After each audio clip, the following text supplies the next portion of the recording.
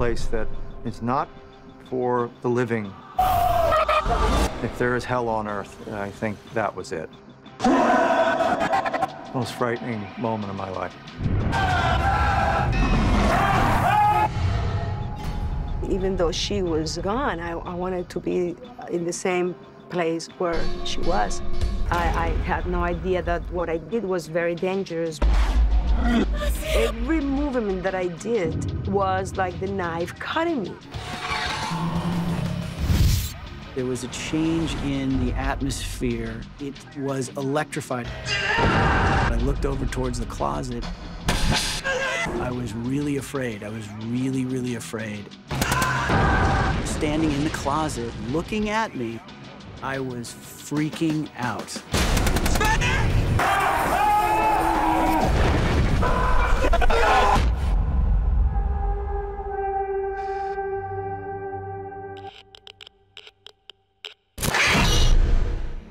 Know, maybe we entered a place that is not for the living to even visit. That's a stark, cold, dead place. Um, if there is hell on earth, I think that was it. Most frightening moment of my life. Um,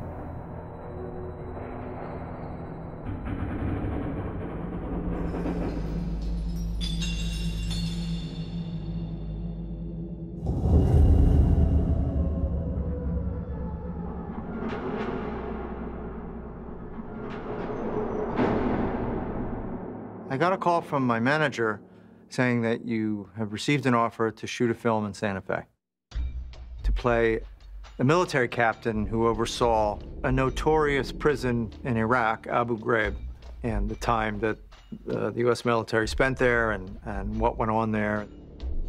And I just thought that that would be a new adventure and a new character to add to the resume, and I accepted the role. We were shooting outside of Santa Fe in the old main prison facility, which has now obviously been closed down for many years. It was considered to be a level six supermax facility with a gas chamber and a death row. If you were going to pick a location to recreate something as horrible as what went on for 30 years uh, uh, during Saddam Hussein's rule in Iraq of that prison, you draw the conclusion that it was an appropriate place to shoot that film. I flew into uh, Albuquerque. I landed at about midnight. The producer came to pick me up. We were driving to Santa Fe, which is about an hour. The crew hadn't gotten there, no trucks were there yet. I was the first actor.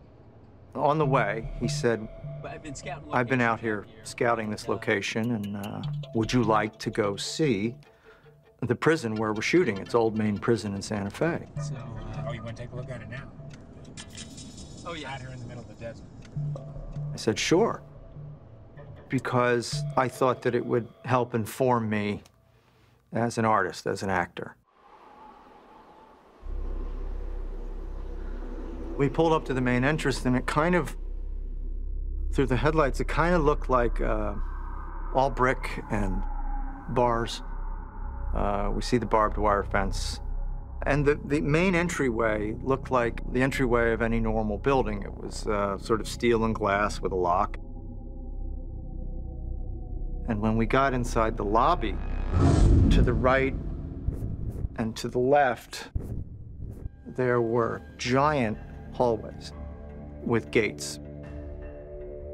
We, we proceeded uh, down the hallway, and the producer said, Would you like to take a little tour of death row and, uh, and the gas chamber?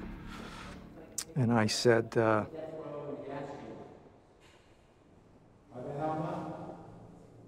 Why the hell not?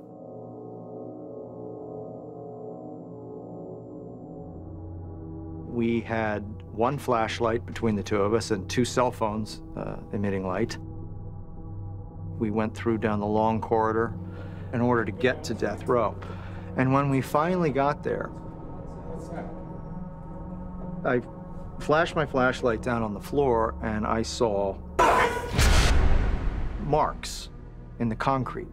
There were about 10 of them, and they just Looked like they were like hacking marks from a heavy object.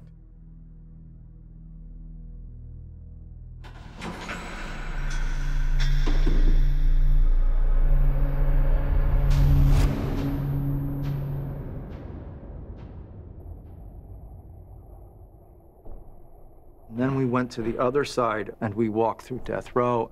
And it was just like this endless, endless series of, of bars and gates that we had to, to pass through in order to get to the gas chamber.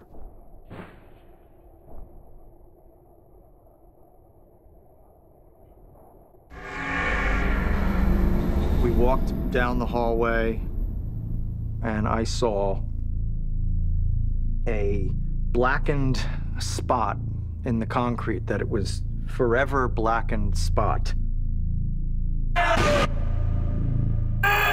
After taking all of that in, he said, if you want to see the gas chamber, you know, we're going to have to go down into the basement. There's no light down there, so you really have to stick with me. And I said, uh, yeah, no problem. I, I'm not going anywhere.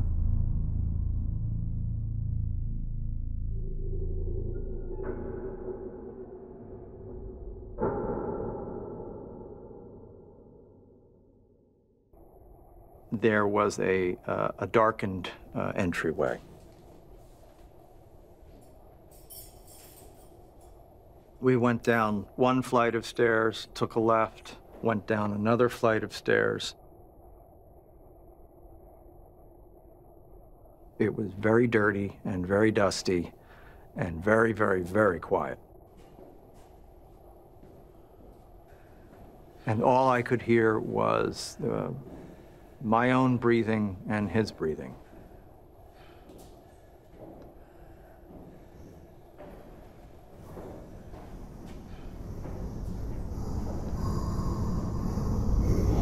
When we got off the third flight of stairs, he turned around and said, This is the back entrance to the gas chamber. This is where the gallery views the execution. So we walked into that room.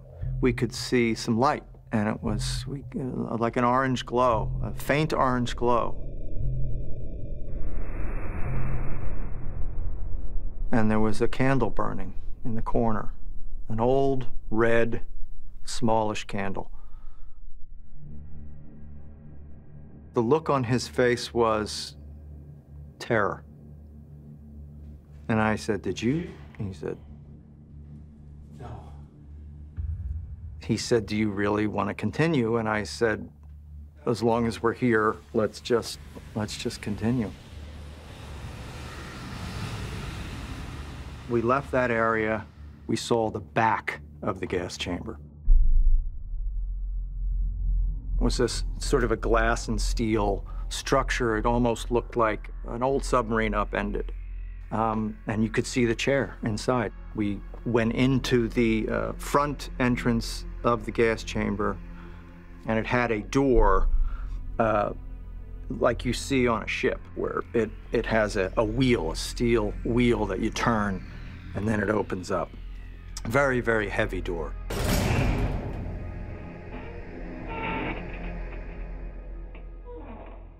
So then as I entered the, uh, the gas chamber uh, and turned around and sat down uh, in the chair, uh, I was shaking a little bit. I was a little bit sweaty and a little nervous, obviously. It's not every day you sit in a gas chamber chair. My training is such that I don't back away from those experiences. So I, I knew he wasn't going to do it. And I said, well, you know, I, I'm, I'm going to go ahead and sit in there and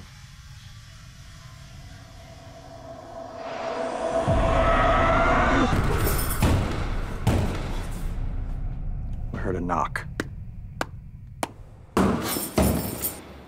There were three knocks. Sounded like they were coming from below, like somebody was underneath the prison, and there were no levels below the basement. And I looked at him. I noticed that he was fixated on the viewing area behind me. And then I turned around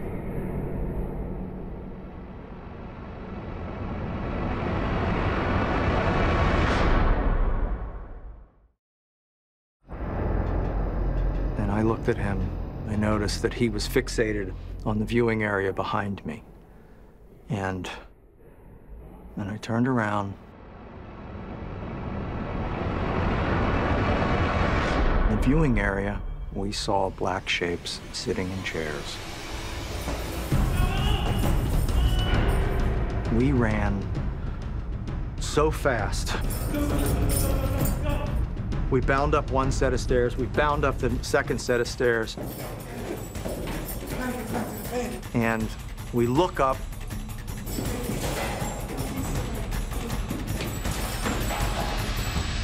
At the top of the stairs, there's the silhouette. And we froze.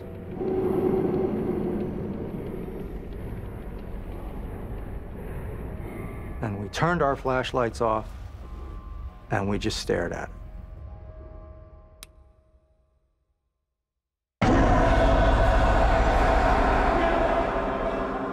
Seemed to have a straight body with wings sort of coming out. It's the only way I can describe it. It didn't look like a human being. It had uh, an energy coming out of it that was foreboding. It was pretty much filling the space.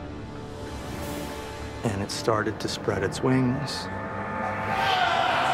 And we were scared out of our minds, and we there just seemed to be this noise. This, this cacophony of, of voices and yelling and screaming, and we covered our ears.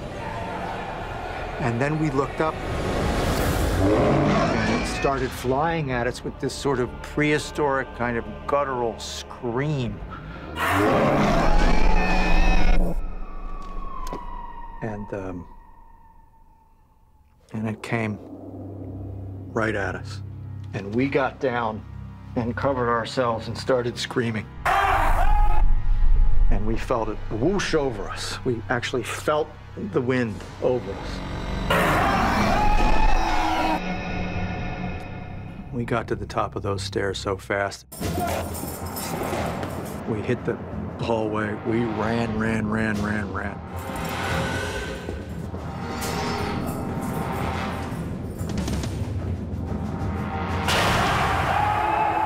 We got outside, our hearts were racing, we were sweating. We just got in the car, took off.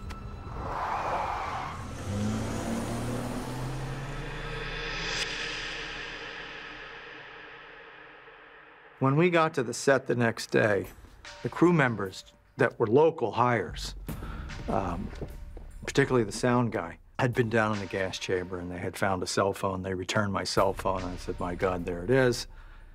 And he said, Wait a minute. You went down into the death chamber at night? Yeah, we did. He goes, No, no, no, no, no, no, no. Don't you know the history of this prison? And he started telling us the history of this prison.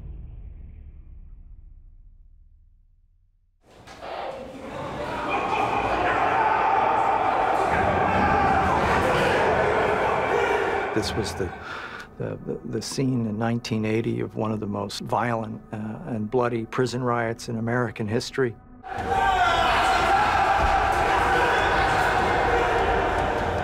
Twelve hundred inmates overpowered 25 guards, took them hostage, and fought each other. They dragged one prisoner out of his cell in death row and executed him in the spot where those marks were in the concrete.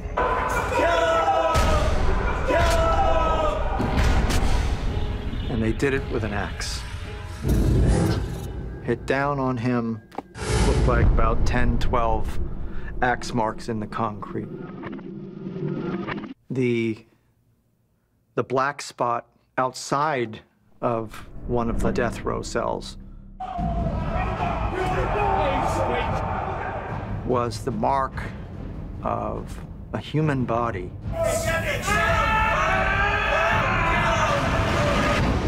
that had been blowtorched.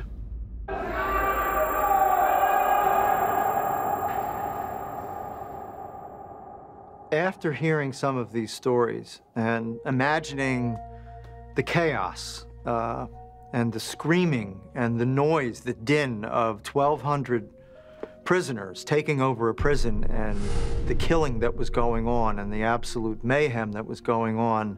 Now it makes sense to me why we heard these noises down in the death chamber. Maybe it was some spirit allowing us to hear this so that we would tell this story so no one would ever go back in that place. And it's an experience I'll never forget.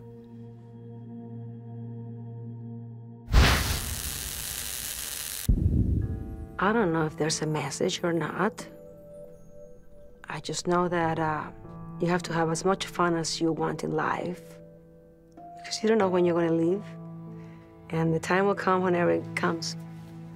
And respect what's after. Because I believe there's a lot afterwards, after your body is gone. I believe.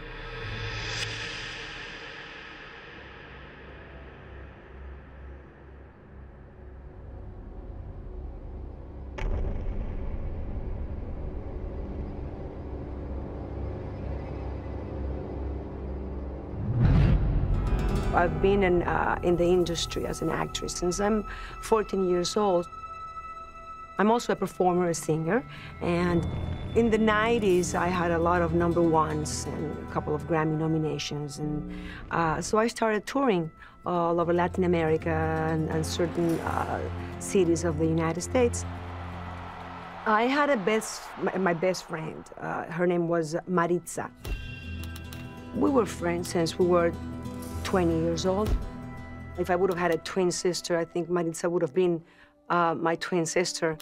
She was very fun and crazy. She just was someone that just loved life, completely made me laugh all the time. But she had moved to Aruba. I was in Colombia. I had a boyfriend there that I was visiting in my few days off that I had. And I said, you know, I want to go visit Maritza for a few days in Aruba. So I go to Aruba. I spend, you know, a few days with her, have a great, great time. Then I said, okay, I'm leaving, going back to the boyfriend, uh, but I want to come back and see you again, so I'll come back again afterwards. I didn't want to leave. I wanted to stay there in Aruba.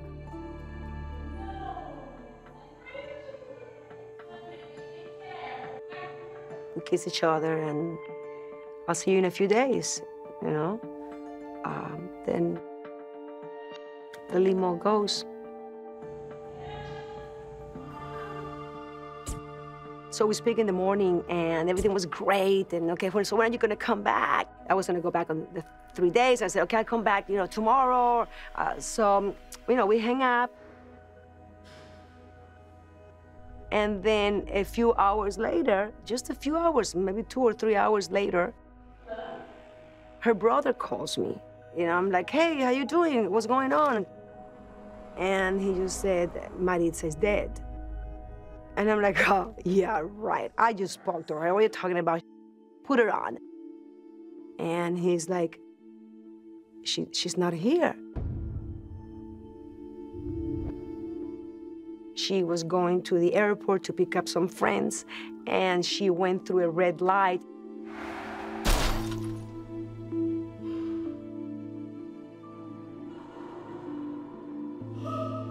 started to scream. I went completely, completely crazy.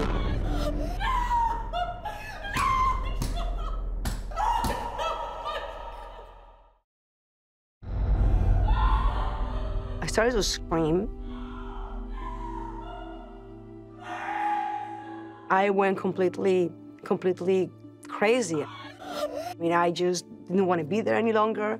I, I wanted to go back, even, even though she was, uh, she was gone. I, I wanted to be in the same place where she was. I grabbed the plane and I went back to Aruba. And then we met a few friends there, and then we took her to bury her in, in Caracas, Venezuela. So when, when the time came for her to, you know, to look pretty on, on her coffin. Uh, her mother didn't want to do it, so I said, I do, I do. It just gave me time to be longer with her and in private. And she was just beautiful. And, uh, you know, I made her look even more beautiful, remember? Putting the color on her cheeks and, and her lips and everything, so.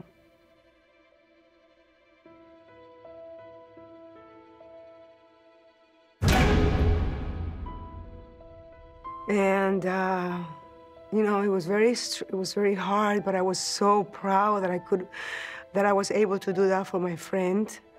Um, she looked so peaceful and uh, and so pretty.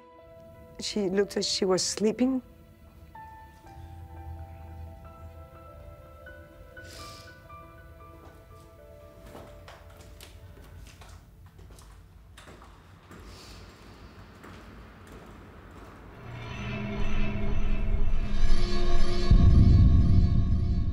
After the funeral, uh, the following day, I go back to Miami, uh, where I, I, I was going to have a concert. I go to my hotel room, and she had this knitted kind of like shawl green. She had given it to me before before she died. It was you know something that I loved, and she's like, "Ah, here, take it."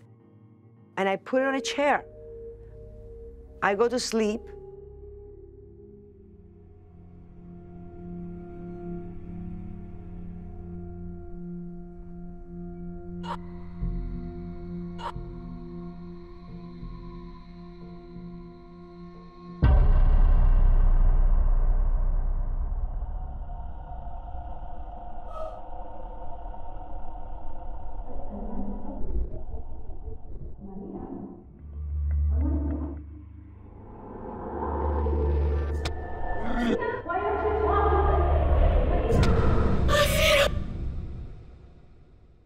Wake up with a very extremely strong pain on my chest, not near my heart.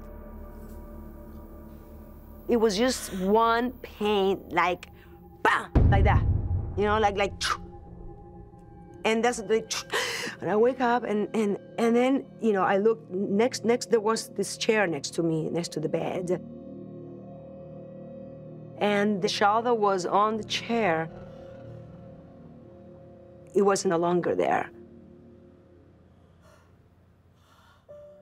I don't know why. I don't know why. I just, uh, I just felt that it was her.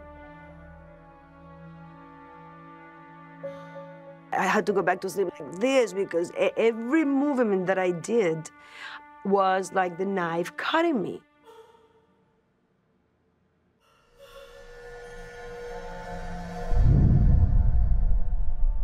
I wake up and I'm like, oh my God, I, I still have this pain here. What am I going to do tonight? You know, I can't, I can't move. How am I going to sing tonight? But I just go for it. You just got to. Your mind has to be in control there. So uh, I wasn't going to cancel a concert. As soon as I got on the stage and the concert started, the pain went away completely, like, like nothing. And as soon as I stopped, the show, as the, uh, the, show was over, the pain came back on to me, like a knife cutting me open, and I can't move. I knew that that had nothing to do with doctors and me being sick or anything at all. For some reason, I just knew So I called this friend of mine who back then he, she was my publicist and I tell her, I don't know what's going on. I think I have Maritza inside me. So I said, well, you know, we, we need to find a medium. And, and she, she made the appointment to go see this medium the following day. So I went, you know, to this uh, medium man, an older guy, Cuban guy, very sweet face, white hair were there, and my mother was there, and it all starts. Right away, he told me what happened. Right away, without, a, without a, you know, a doubt. Oh, that's Maritza calling you. I, I had no idea that what I did was very dangerous. I had no idea about any of these things. He told me that it was while I was making her up and putting on her gloves, one of her arms was very, very stiff. You know, I mean, I, I couldn't move it. It was like very hard. I couldn't move her fingers. While the other side was completely soft, you know, like, like, like if she was alive. He told me that what that is, is that the spirit is leaving your body. So when the spirit is going away, that side is, is already gone. So it's, it's, it's you know, it's stiff, uh, rigid. And it's still on the other side. You know, it had movements because it was still there. And sometimes they can possess you while the spirit is going away. He told me that the pain was Maritza talking to me, that that was her trying to talk to me. Because I wasn't paying attention and she didn't know she was gone. So she just punched me like, listen to me, I'm talking to you, you know, kind of like angry and to, to call my attention. Because they're, when they are in that, in that phase, they are they're not in peace. They're, they're in anguish, anguish, and and they're this, this desperate because because you know imagine you talking to somebody and, and the, the, person is like ignoring you because you know you're not there. So comes a moment when that person becomes like, ah, listen to me. So you know we're there, and we light a candle, and you know the guy starts saying, you know, Maritza, we're all here, we're all here. You know, we want to bring peace into you. Uh, you know, you, you, gotta let go, you gotta let go. And then he, I'm, I'm, saying the same thing, Maritza, please, you know, we're, we're, you know, we're here to bring you peace. You gotta, you gotta stop.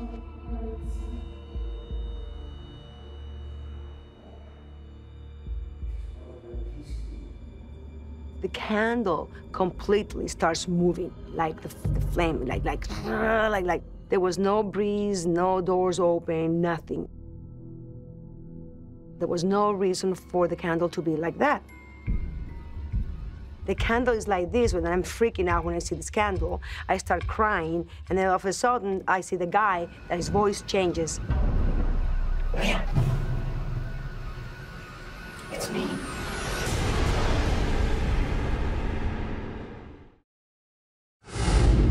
There was no reason for the candle to be like that. The candle is like this, when I'm freaking out when I see this candle. I start crying, and then all of a sudden, I see the guy, that his voice changes.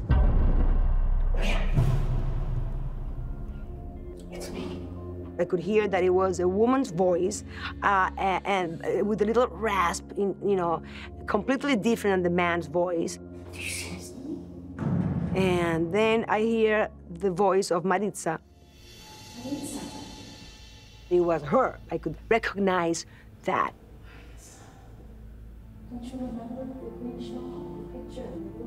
And so the man started saying things that, you know, from our trips or things like that, that nobody knew except her and me.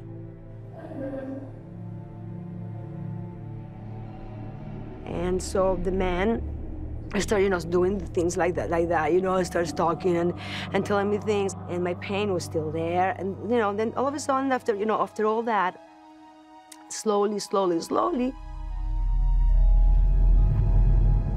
I see through the candle, through, through the flame, like a little, kind of like a little figure. She had hair like mine. It was Maritza.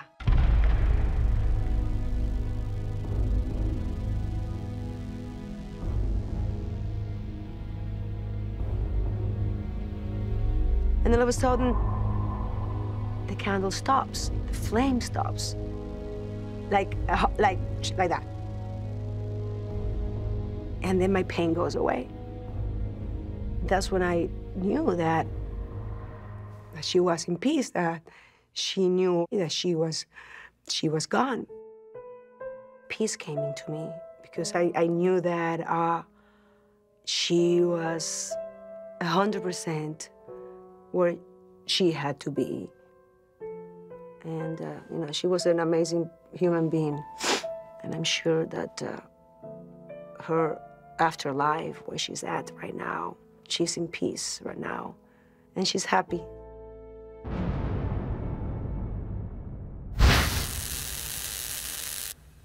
I was always one of those kids who wasn't afraid. Nobody could actually scare me. But I don't care who you are, if you all of a sudden see a ghost standing in front of you, I guarantee you, you will have a couple of extra beats of your heart.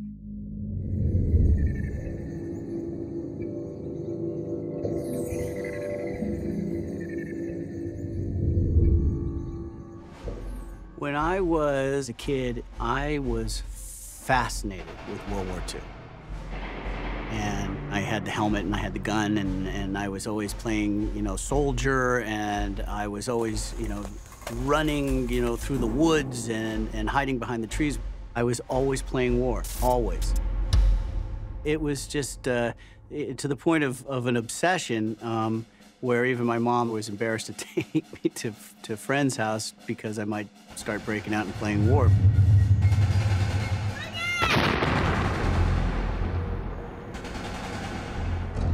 Fascination kind of grew into a, into a very a very eerie situation for me.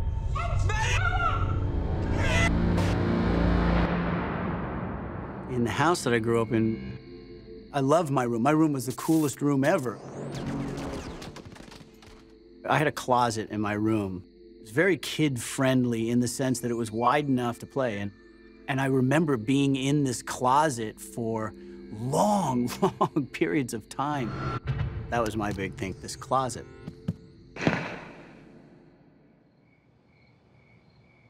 There was a time when I would be in my room asleep and I would all of a sudden wake up to the smell of cigarette smoke.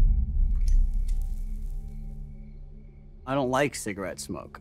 It was really prominent and it was in my room. My grandfather, he was a doctor and he had a practice in the house and he smoked. This was late at night though. I mean, everybody was asleep. I looked around the room thinking there was somebody in my room smoking, and there was nobody in the room. And there's a window that's right by my bed. I looked out the window to see if there was anybody outside, and uh, there was nobody outside smoking a cigarette.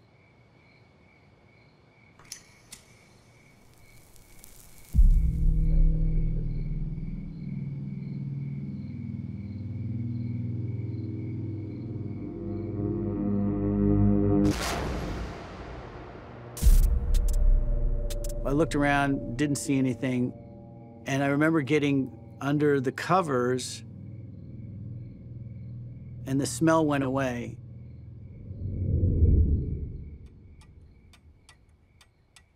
The very next night, it was like three o'clock in the morning or something.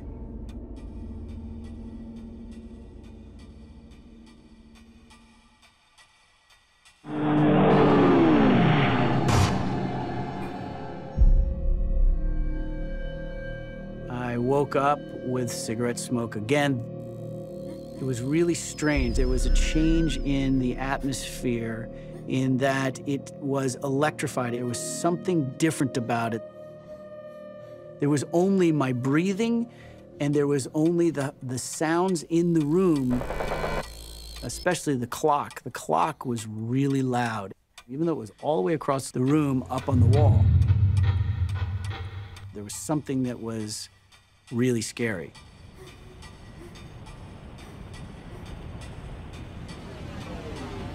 And I don't know why, but I was drawn to the closet and when I looked over there,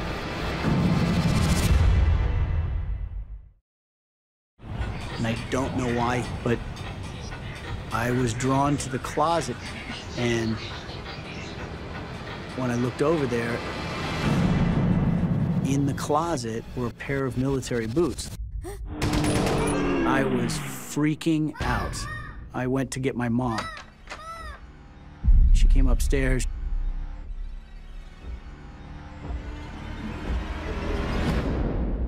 I don't see anything. And there was nothing in the closet. She looked around for me uh, to make sure there was nobody there. Went to the window, didn't see anything, didn't smell anything. I think it was just a bedroom. And so she tucked me in, gave me a kiss, and then uh, went back downstairs.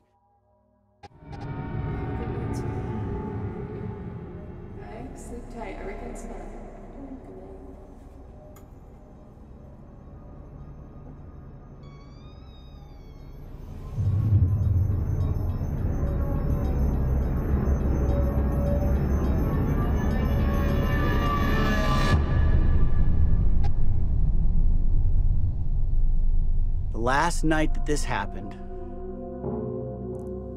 was the most intense. I, I was really afraid. I was really, really afraid, wondering, is this going to happen again? It was almost as though I knew it was going to happen. I was awake, waiting, and it's that waiting, waiting, waiting.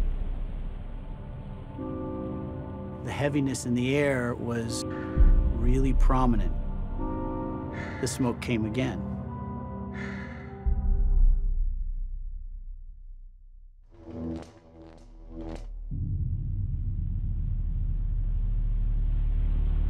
It was like everything just was amped up, just cranked up. The room itself was so loud.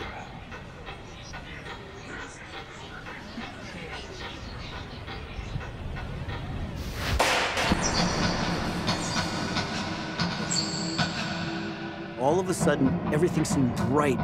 Everything had this sort of silvery blue, and even that looked like it was really turned up. This chill went all the way up, right from my legs all the way up to my head, to the back of my neck. I, I could feel the chills of fear to the point where I couldn't. I wanted to yell for my mom, and I couldn't. I just couldn't.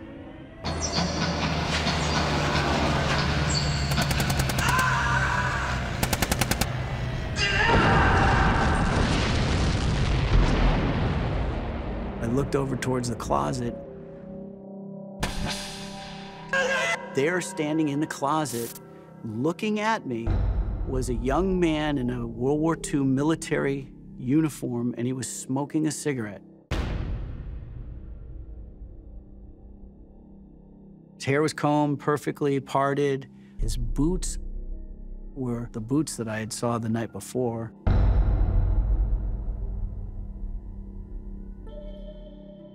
And he smiled. It was almost like I was looking at him and he was looking at me.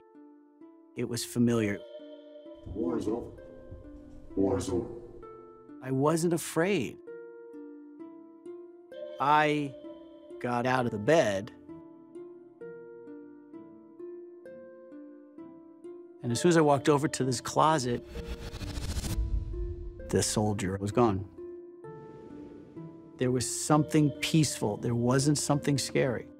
I'll never forget that feeling. I'll never forget that feeling. There was almost like a spiritual connection because there had to be something that offset the fact that there was a, a ghost standing in front of me in my bedroom.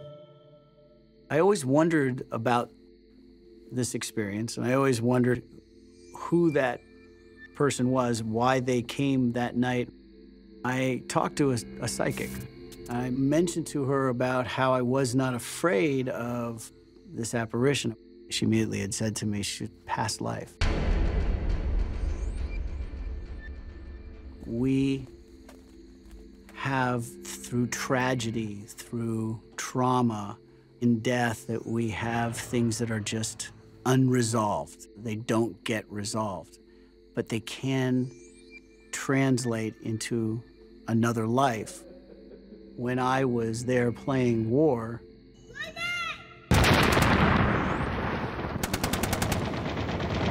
I was in the thick of that battle as a young man.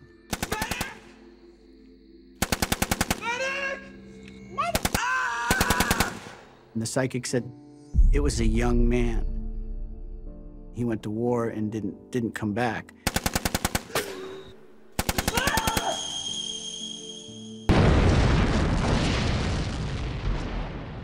It was a, a past life of mine.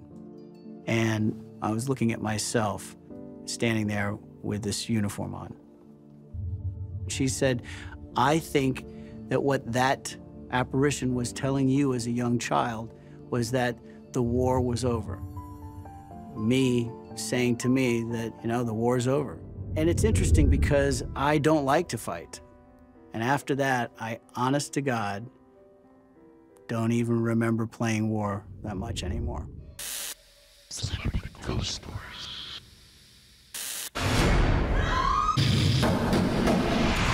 There was blood everywhere, all over the walls, on the carpeting. I had this major fear that something was gonna grab me. It was very scary. I'm looking around and I realize we're in total darkness. It's not going to be good and we get stuck. And all of a sudden, it's like walking into the 1950s. We're looking around. We could not believe it. It was such a terrifying thing that affected all of us. I just picked my head up first and I saw this shadow of someone sitting at the edge of my bed. I was freaked out. all of a sudden, this creepy chills kind of feeling came over me. I absolutely was scared out of my mind.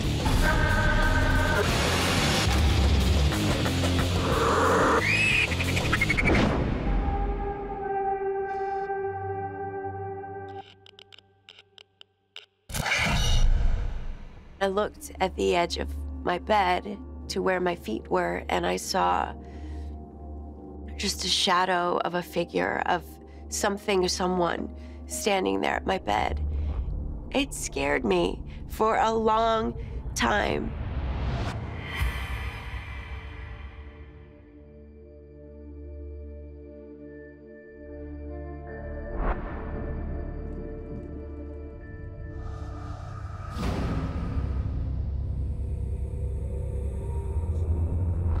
I grew up in a suburb east of Los Angeles, and my mother managed a condo complex.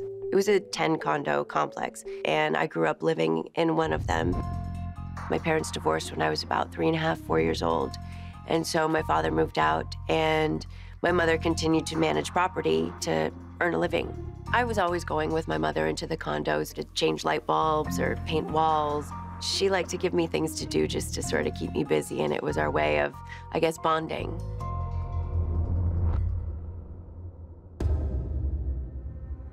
One of the condos that was in the far back, there was something so dark and just scary gloomy about it. I couldn't walk past it. There was just something about that condo that kept me away. I just wanted nothing to do with it.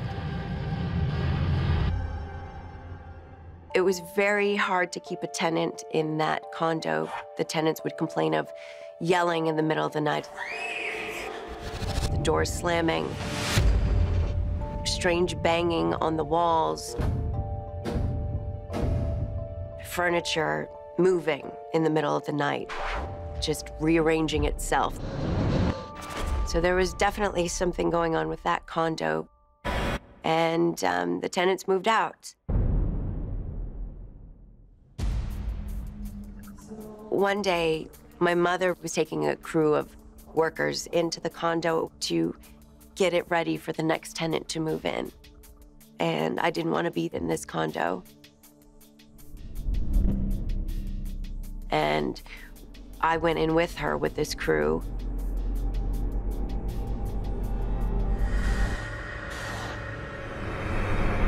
When I walked in, I felt like a cold blast of air.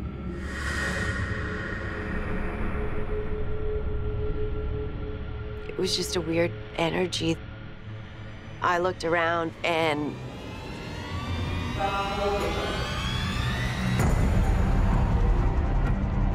there was blood everywhere, all over the walls, and the carpeting.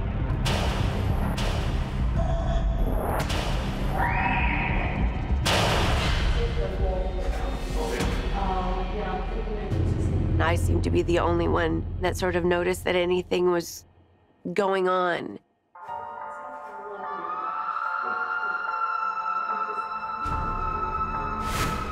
Nobody else saw the blood all over the place. It was very scary.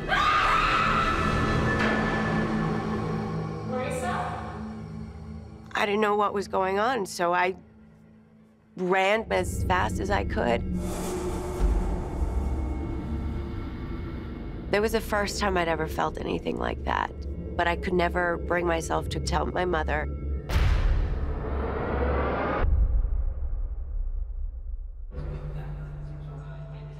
That night, I was home alone and my mother was working and I would do my homework in front of the television in the living room. The minute I turned off the television,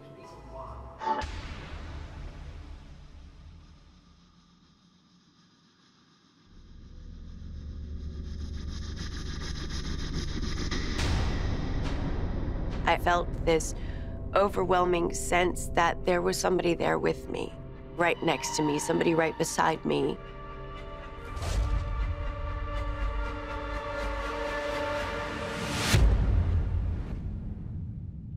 But there's nobody there, and, and as I look around and look for, for whatever it could be, the feeling would get stronger that there was something there with me.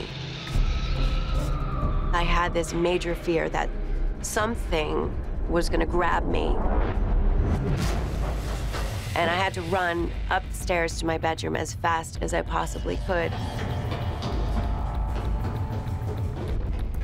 Halfway up the stairs.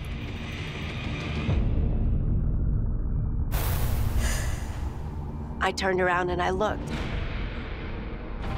And I saw a figure just a dark shadow at the base of the stairs.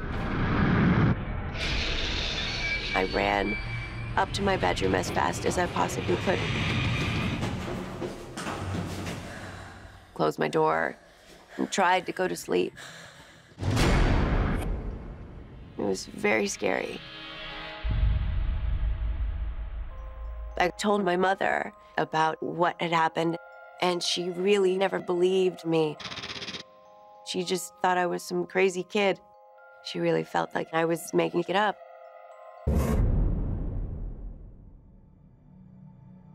One night, I will never forget, I was sleeping. It was a hot night. I was on top of the covers.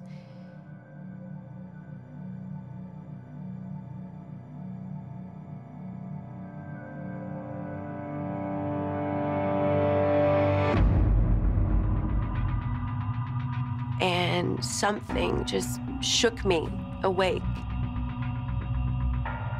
to the point where I was wide awake. My eyes were wide open. And as I looked to the edge of my bed,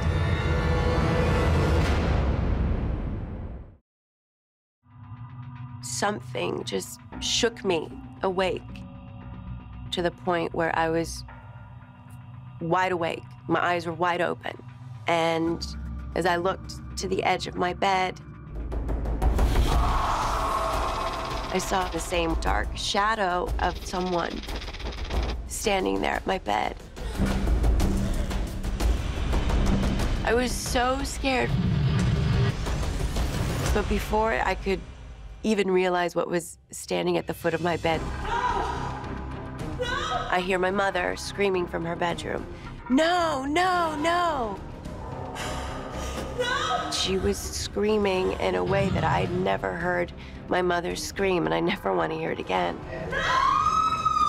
I didn't know what was going on, so I ran to her room as fast as I could, and she was asleep. She was having the worst nightmare, and I shook her awake. And I said, Mom, what's, what's going on? Are you okay? She was freaked out. She told me that her nightmare was about me. She had been dreaming about what I was going through. She thought what I saw at the edge of my bed was coming to hurt me, to take me, to do something to me. And that's why she was screaming, no, no. It was very scary.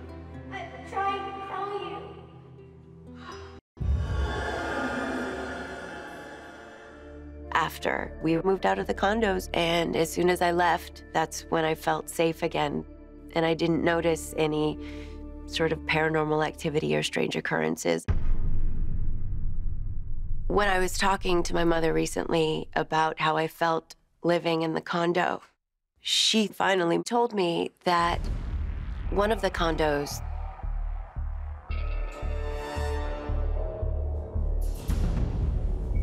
there was a murder suicide.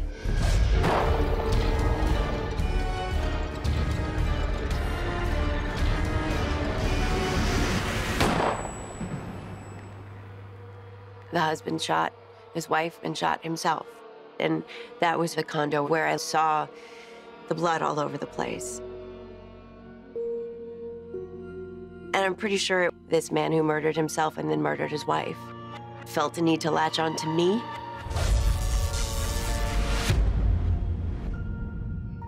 And follow me around my condo and make me feel scared for my life.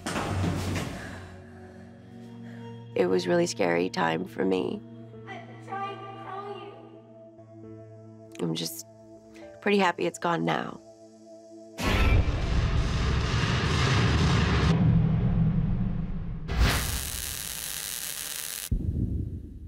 Before this incident, if somebody told it to me, I would have said, please check your pills at the door.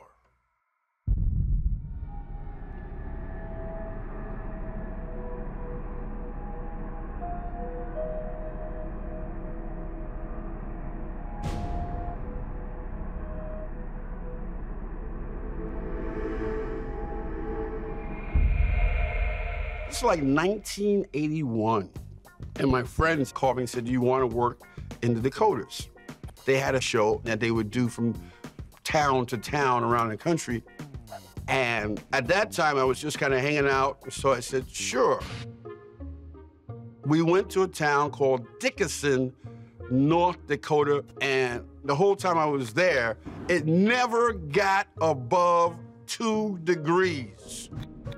We were there for three months working all kind of little places. So one night, we had to go all the way up to Rapid City. And we're working this bar. People are playing pool, they're shooting dice. And the beer is the darkest thing there. After we finished the show, we had a little hotel, and it was a terrible hotel room with a bed squeak even before you get into them. So I say to Jeff, who's the guy who ran the whole tour, hey man, let's get out of here tonight and we'll bail. We'll just go now.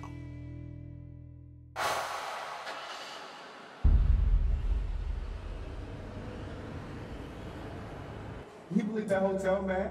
That was nasty. You can say that again. So we get going after about 11 o'clock at night. We're driving, and everything seems to be fine.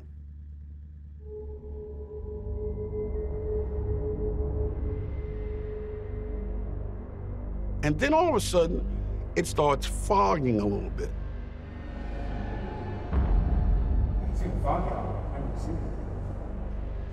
We couldn't see nothing. And we're going slow.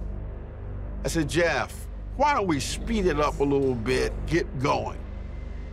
And Jeff says, I can't speed up. What's wrong with the car? And says, nothing wrong with the car, but coasting. we've been coasting. Coasting, man, we gotta get some gas. Then I'm looking around and I realize we're in total darkness. There's just nothing. Finally, I said, Jeff, it's not going to be good, and we get stuck. And we thought, I did anyway, that we were just going to be dead popsicles in North Dakota.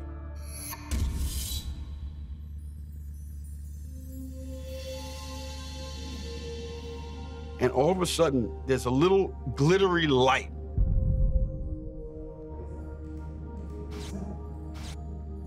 And as we got closer,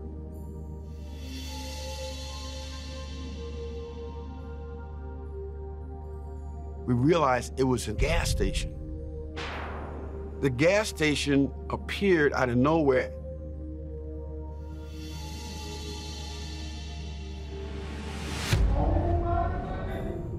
And I said, Oh, Mother of Mercy, how is this happening? This is great.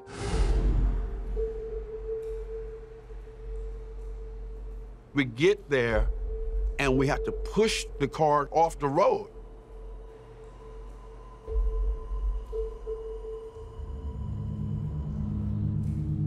And the pump is like one little pump and it has the old fashioned kind of pump things on it. So we're looking for the guy just to get to some gas.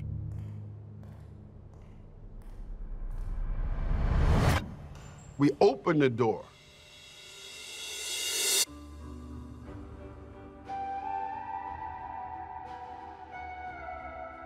And it's like walking into the 1950s.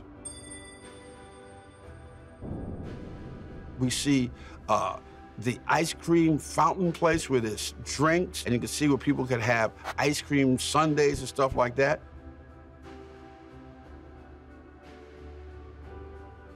Oh. We're looking around.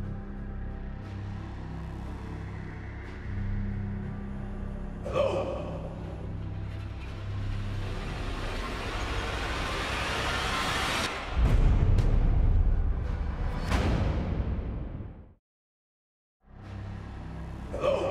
We're looking around, and it's like walking into the 1950s.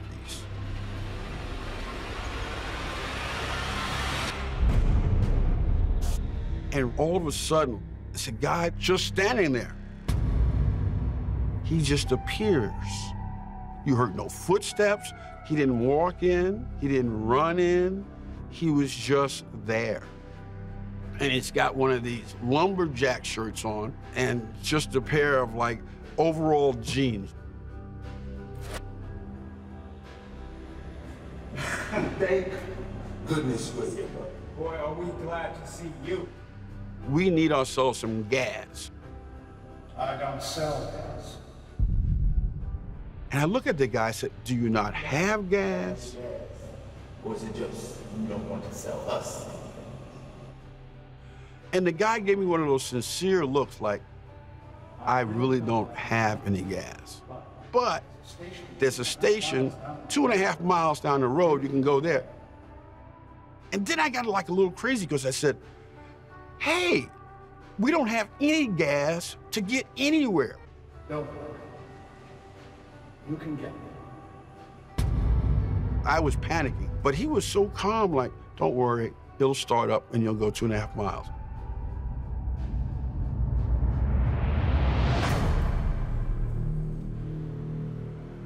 So we get in the car.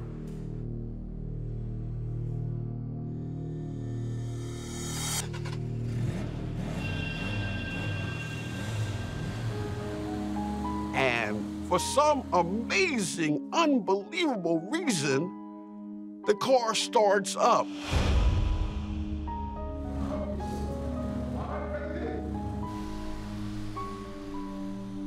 We drive literally two and a half miles, make a left.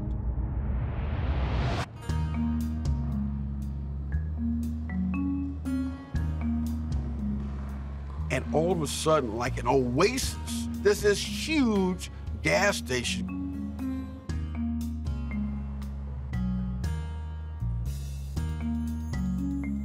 We get to the gas station, and there was a girl there we're talking to her and saying, thank goodness the guy at the gas station down the road really helped us out, told us about you guys. We didn't even know you guys were around. And the girl looks at us and goes, There is no gas station down the road. We're the only gas station in town. and we look at each other like. And I said to her, We were at the gas station down the road, about two and a half miles down the road. it's got old fashioned pumps. And there was an old guy there. And she looks at us and she said, There was a station there like 30 years ago. And the guy who ran it is long gone. She says, My dad knew the guy and he was a great guy. He would bring food to people. He always let people run tabs at the place. And then the guy had some tax problems and just closed down the station. And he committed suicide. And she said, when this happened, everybody was so crushed because he was always helping people. And we could not believe it. So we decided to drive back.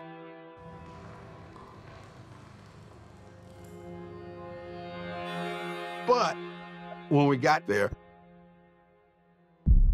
there was no gas station. There was nothing there. And we look at each other and we realize something of the paranormal has happened. And we went on our way. That was it.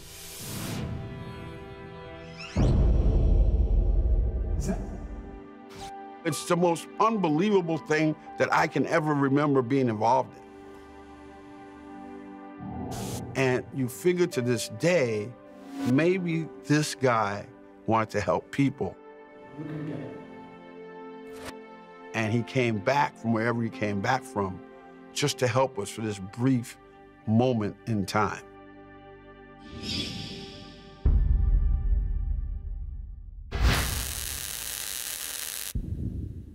I definitely believe that. When a spirit is not ready to go, they make their presence known.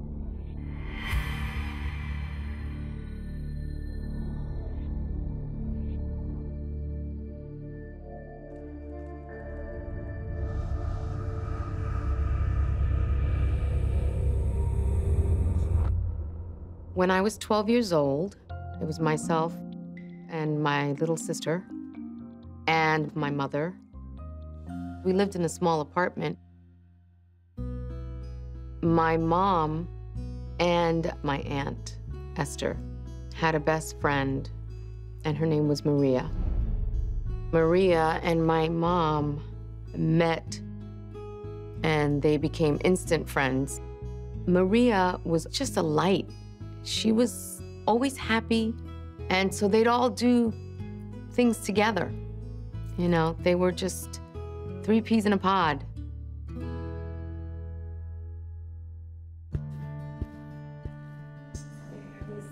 My relationship with Maria was wonderful.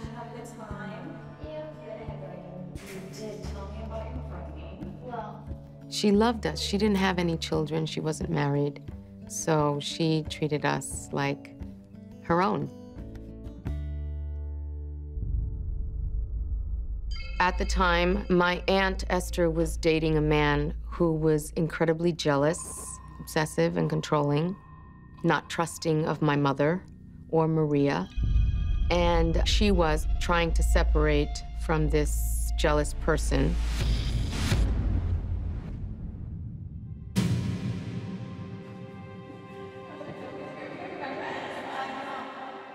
So this one evening, Maria and my Aunt Esther were returning to my Aunt Esther's apartment, and he was hiding with a bat, waiting for them.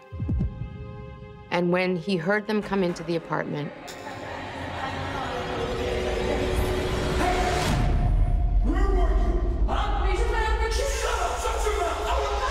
he came out and he scared them and was saying all kinds of things to them.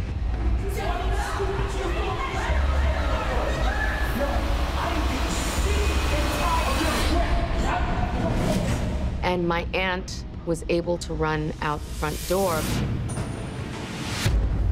But Maria went out the balcony.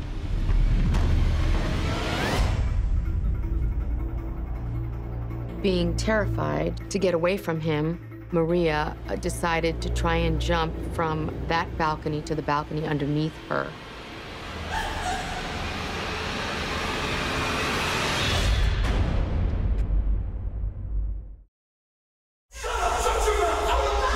He came out and he scared them and was saying all kinds of things to them.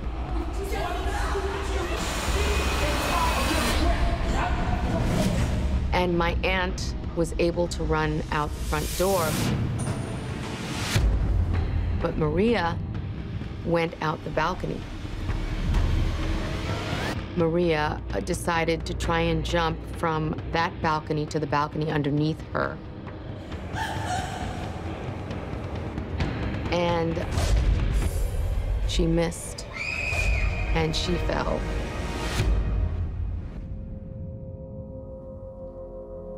Sixteen floors, 15 floors, whatever it was, down to her death.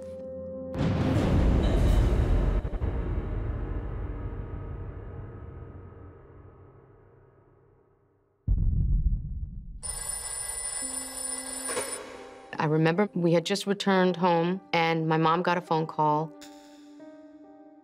And I'll never forget my mom becoming hysterical and crying. She was told that her friend Maria was dead. It was just really tough. It was such a terrifying thing that affected all of us.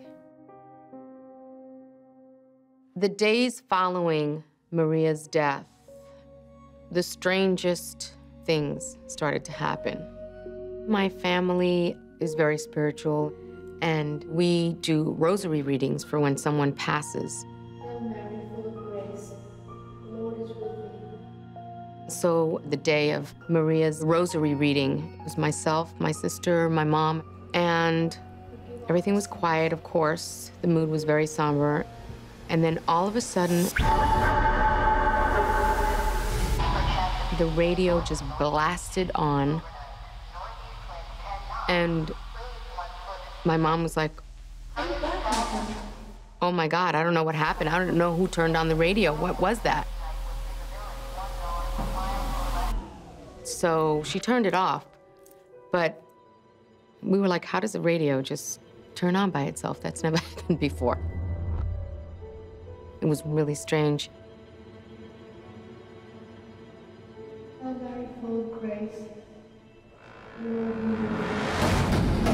And then we hear knocking on the door, on the front door of our apartment.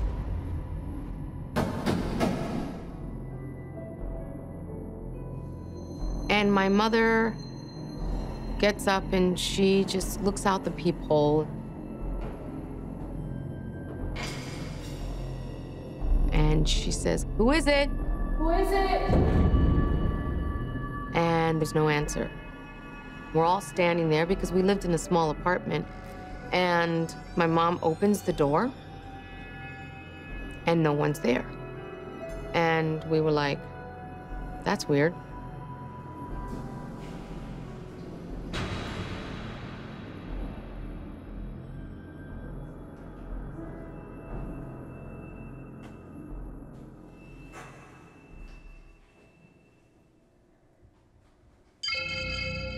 And then it happened again.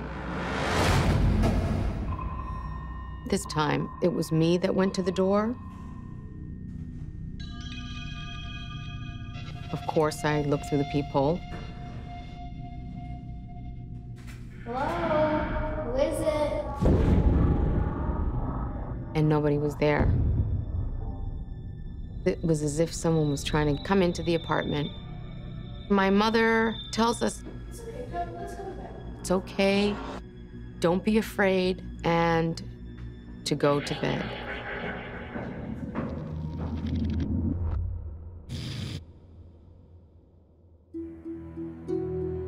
So I go to sleep, And that night,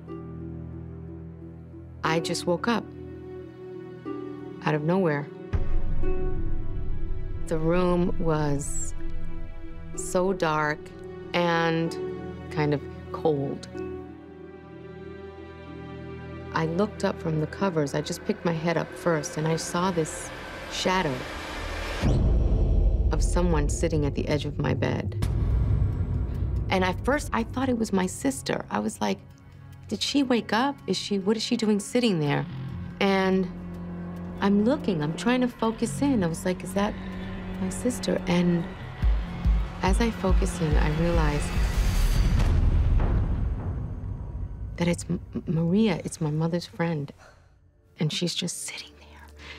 And I did not move. I was freaked out. I remember trying to yell out for my mom, mom, but nothing would come out. It was, it was scary.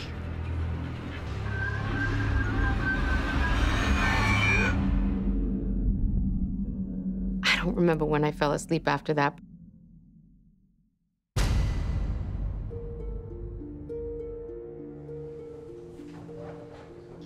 But the next morning, I remember going to my mother. I told my mom, I was like, Mommy, I don't know if I had a dream, but I saw Maria last night. She was on my bed and she was watching me and she was, it was dark and I was so scared and I was petrified. And I told my mom I didn't want to sleep in my room by myself anymore. And my mom just sort of held my hand and she gave me a hug and she was like, It's okay. And then my mother explained to me that it was just her spirit and that we shouldn't be afraid. She's a good spirit. She's not going to hurt us. She just wants to let us know that she's here, that she's watching over us, that she doesn't want to leave us. And then my mom told me that she was experiencing some things too, and that her best friend was showing herself to her as well.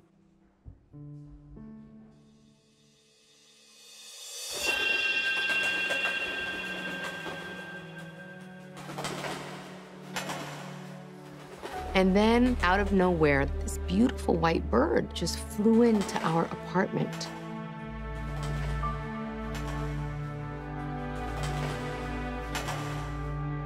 And it starts flying around all over the place.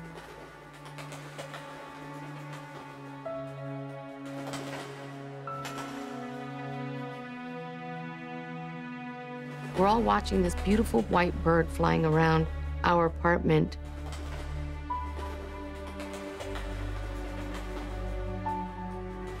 And then it just flew right toward the window and flew right out. And it was gone.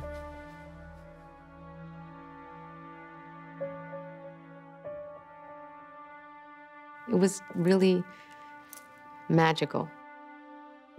And my mom felt like the dove was Maria coming, maybe to say goodbye, that she was okay.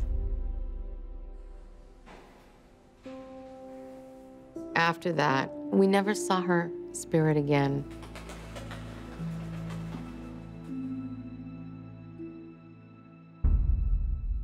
As far as spirits go and what happens to a person when they die, I definitely think that there's an in-between when they want to say goodbye to their loved ones. They want to see them again. They want to be with them. That's what I think about most.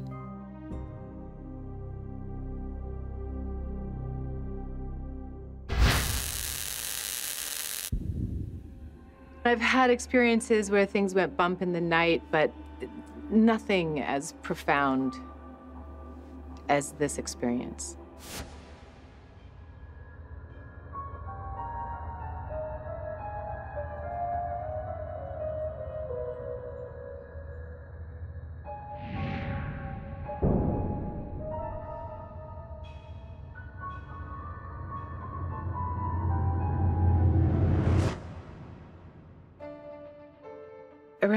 1986, I was working on a movie with Tony Curtis.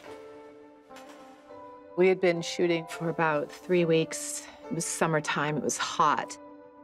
And we were staying at this very old, beautiful hotel. The rooms there were big and barren and, and just big windows and quite sparse.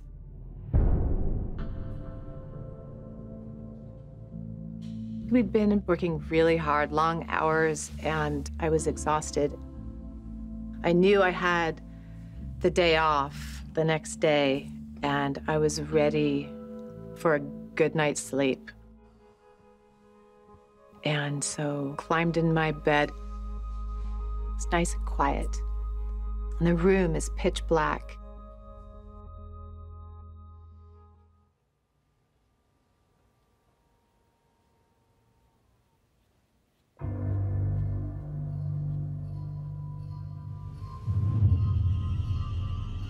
And all of a sudden,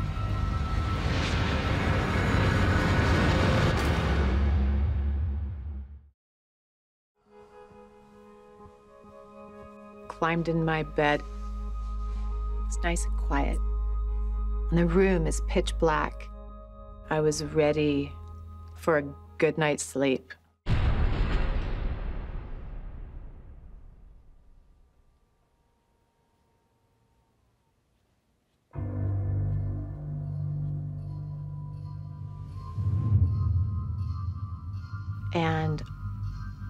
All of a sudden, this creepy chills kind of feeling came over me.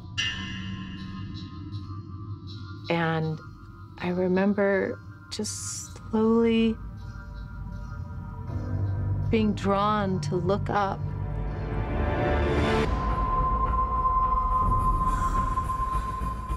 I saw this white ball of light.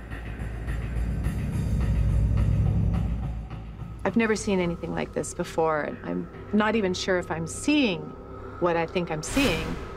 My mind at this point doesn't know what to make of this. All I could do was look at this ball of white light. It was really scary. And this light in the corner of the room grew larger and larger and larger.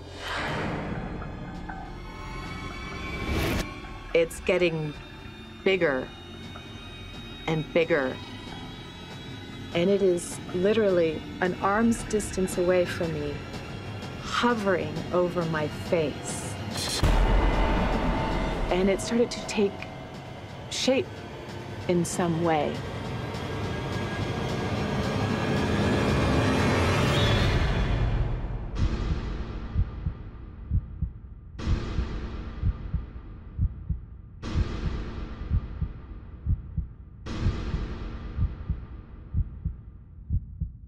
There was something familiar, which didn't make any sense to me at all. And it just hovered over me, and I could not tell you even for how long. And then it was gone. I absolutely was scared out of my mind.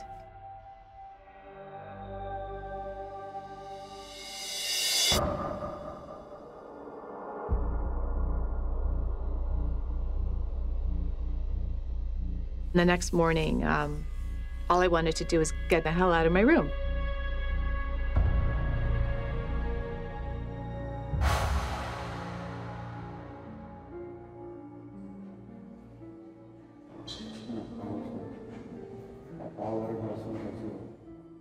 I got dressed and I get out to the lobby, and all I want to do is run outside.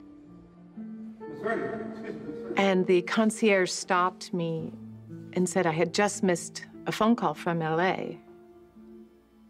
They were phoning to let me know that last night, that night, my manager had died.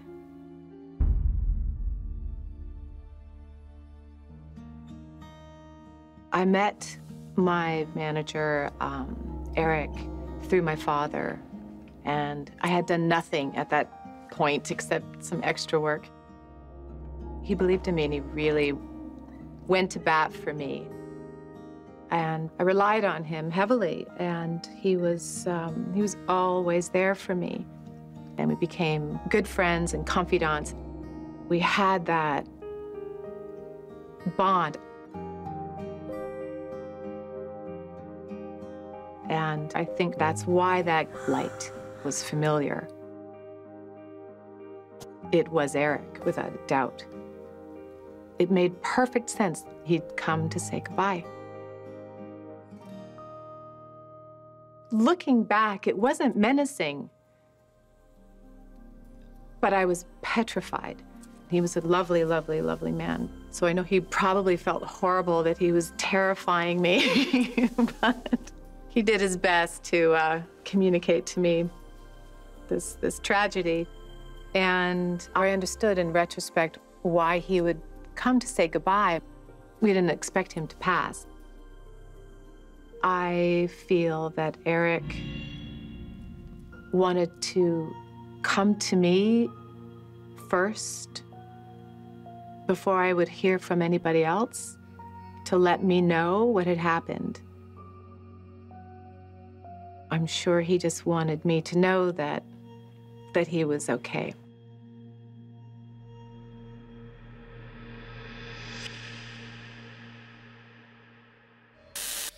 Celebrity Ghost Stories.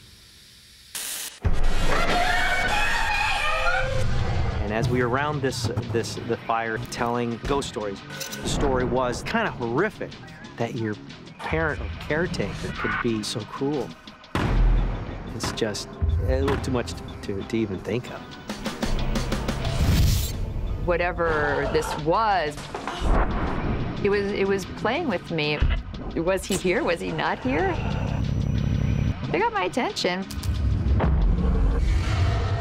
I saw this man lying flat on the floor. Don't drink the water. She said, I didn't tell any man to come here. I get a phone call, and there's nobody there. I've never told anyone else because I'm afraid they'll think I'm cuckoo or something. But it's absolutely true. It was just the same tones over and over again.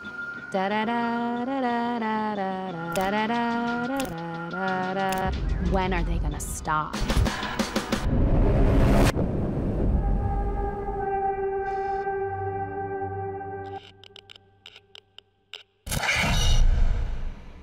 when I was growing up.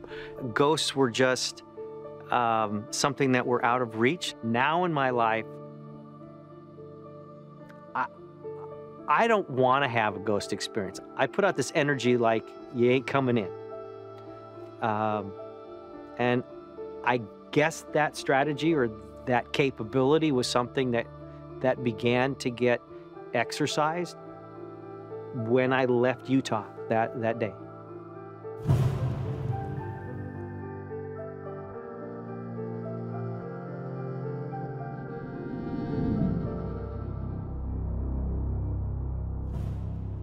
We were busy doing the Brady Bunch, and at that time had uh, had developed some some very close friendships with my castmates. In fact, the home that we were at uh, was the grandparents of Michael Lookinland, played Bobby. His family was vacationing for a couple of days visiting their grandparents, and I was along for the ride on this trip. It was 1970 in the midst of the wilds of Utah. The town was Spring City, Utah, a very remote, small town. Creepy, because it was, it was like, you know, the middle of nowhere. On the first night we were there, we were all by the fire. This is Mike's family, sister around, at the time, I believe 10. Mike was around nine. His parents and his grandparents. And as we were around this, this, the fire, telling ghost stories in this particular case, talking about the house and the history of the house. This house was the home of uh, some regional judge.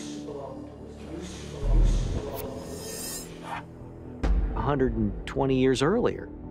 And the judge would travel the circuit, uh, going to courts. You know, the judge apparently loved his first wife, who, who died uh, and lived that love through his daughter. The story was kind of horrific because apparently his second wife was jealous of his daughter.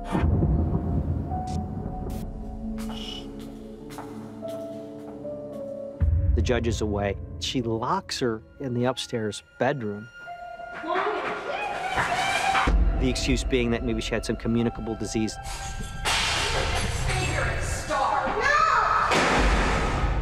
And, well, more than neglects her,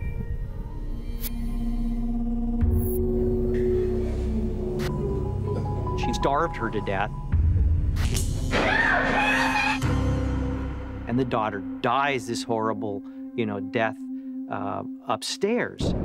That your parent or caretaker could be so cruel um, as to, you know, let you die, uh, you know, a slow, agonizing death like that. It's just a little too much to, to, to even think of.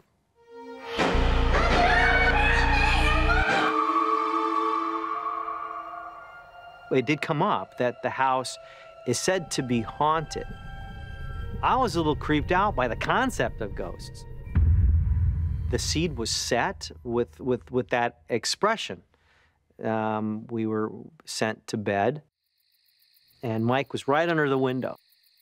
And I'm on a bed opposite him on the other wall, obviously, room between us.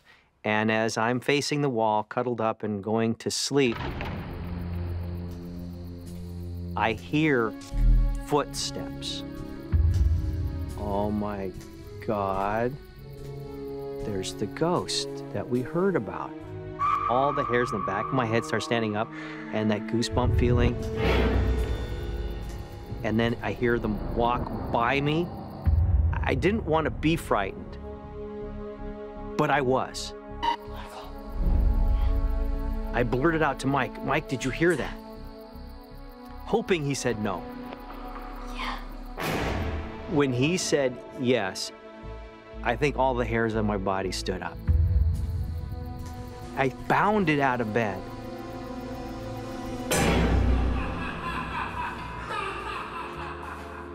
And ran right into his dad's chest, who was laughing his ass off. Because he was outside making these sounds. Michael's dad was all about the practical joke. What I had heard wasn't, wasn't any ghost. Mike was behind me, but he wasn't anywhere near as frightened as I was. He was sort of laughing at me, which isn't really comfortable when I'm supposed to be sort of like in our little group, the little leader. Nonetheless, the fright had taken place. The house was now safe. The whole ghost thing sort of, it was spent. Um, I just go back to sleep. And then very early in the morning, I feel this sort of faint breath.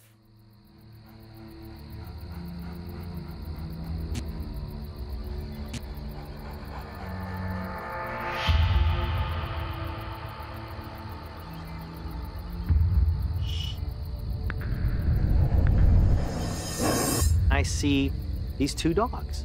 They were like hunting dogs. There wasn't any dogs that I remembered in this house. None of that is necessarily computed in this moment. I look up, and here's this girl, just a silhouette, with a nightgown, and she had two little pigtails. I thought it was Teresa, Mike's sister. She's about 10 years old at the time. She was here, was in the house.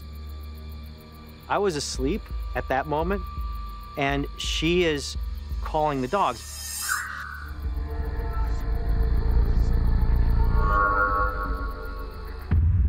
I just go back to sleep. And the logic was, well, there's there's a girl in the doorway, and there's a girl that age that is in this house. But somehow, because she was there, that made the dogs okay. It wasn't something to question. I wake up, and we're all having breakfast in the morning. I ask, you know, hey, where, where are those dogs? And everybody looks at me like I'm freaking out of my mind. We don't have any dogs here.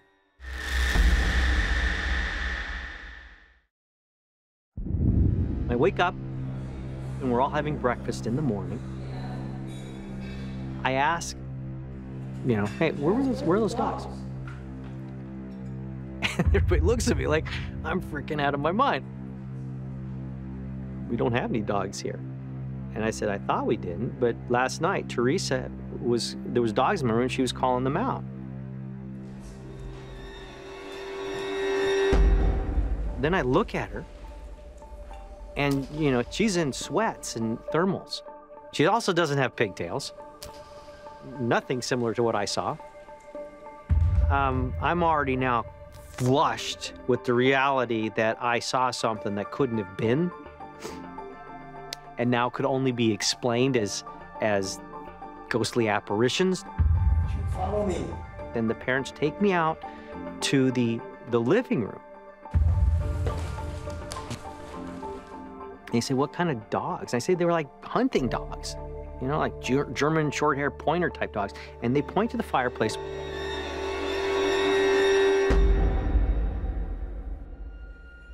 Hunting dogs. Those the dogs you saw last night? Yeah, Yeah. yeah, yeah. Those dogs. That's what I saw. It was just creepy. You ever have one of those moments when you just, you know, like you just, you swerved and you missed something, and then like that 10 seconds later, you just, you have this rush of adrenaline and blood and heart pump, pump, pump, pump, pump, pump. That's what happened. And then Mike's grandfather says the second wife was was said to was uh, to have also killed the judge's two prized and loved hunting dogs.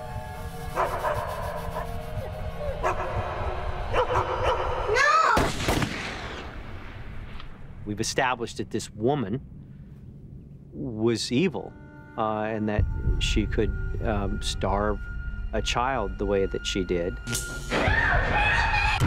The woman brought upon this house uh, uh, some spirits that weren't ready to leave. It could be that the dogs were, were uh, involved in the afterlife protecting the girl spirit. That was what they did uh, in life. Maybe the reason I'm visited is because I'm the stranger. This is, you know, Michael's grandparents' home. He has been there numerous times. They probably were all okay. I'm the one that needs to get checked out. And was. I couldn't even really go back upstairs to pack my bag without Mike being with me or somebody being with me. It was such a creepy feeling. I, I wouldn't even to this day want to challenge myself by being in that environment again. I've never been that frightened um, ever, ever again.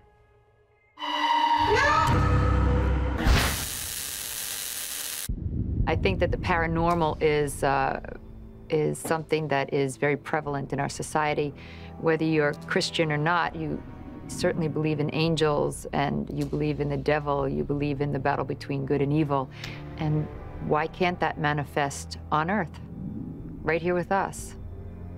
Absolutely, I think about it all the time.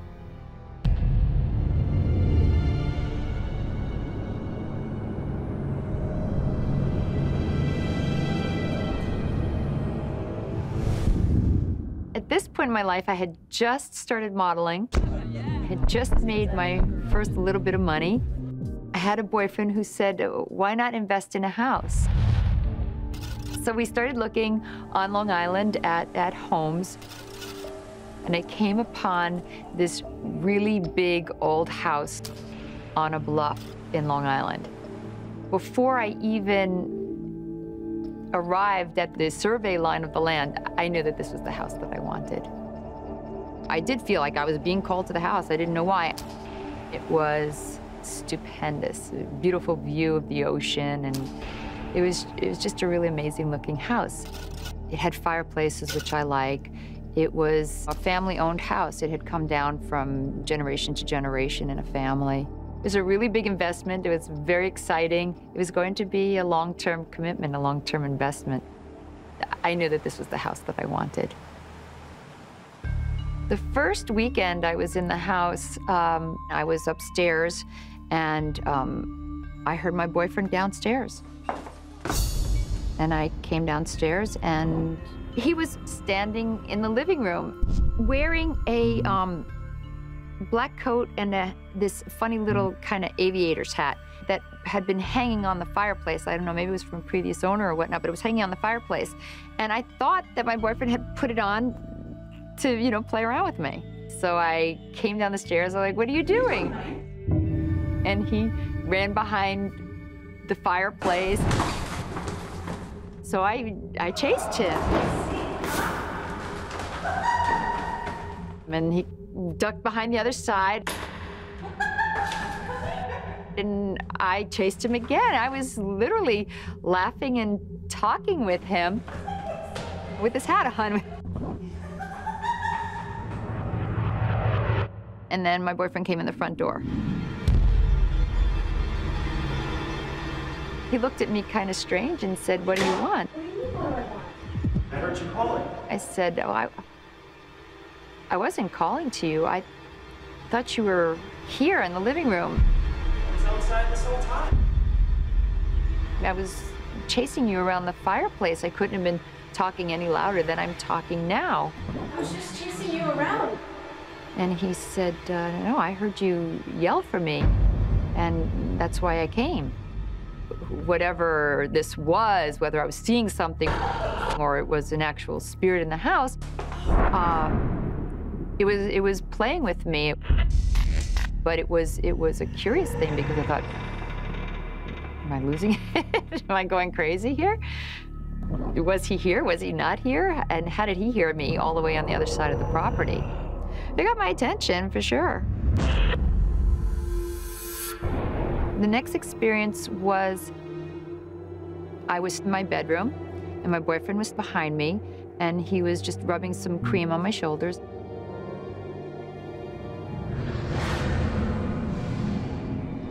We both kind of stopped at the same time. I thought I saw the cat come around the corner, stretch out, and then like melt. And he said, Isn't that funny? I know that we didn't bring the cats, but even without them, it feels like they're here. I said, Did you see that too? he said, What did you see? I said, I thought I saw the cat like melt. He said, I saw the same thing. The only reason that I really thought I saw it was because he saw it too. That gave a, a little bit more strength to the fact that maybe there was something. Well, it was a really, really long time after that that um, I had a girlfriend come stay at my house. We had a lovely evening together. We cooked, we sat around the fireplace, we played cards. And it was rather late in the evening when we all went to bed. I went to bed about 1.30 or so. The next morning when I woke up, they were gone. It was rather late in the evening when we all went to bed. I went to bed about 1.30 or so. The next morning when I woke up, they were gone. I mean, the bed was stripped and they were gone. I got a phone call from my girlfriend and she said, my husband couldn't stay in the house. Um, I said, well, why not? She said, well, he woke up in the middle of the night.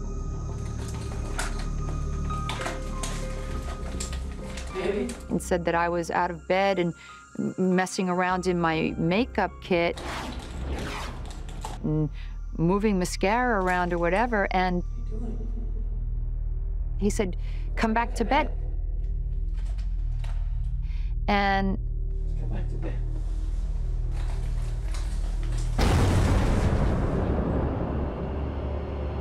he rolled over and I was in bed. And he looked back to my makeup kit. Somebody else was there. It wasn't me. And he got very upset and he woke me up. Hey, baby, come on. We gotta go. Come on, wake up.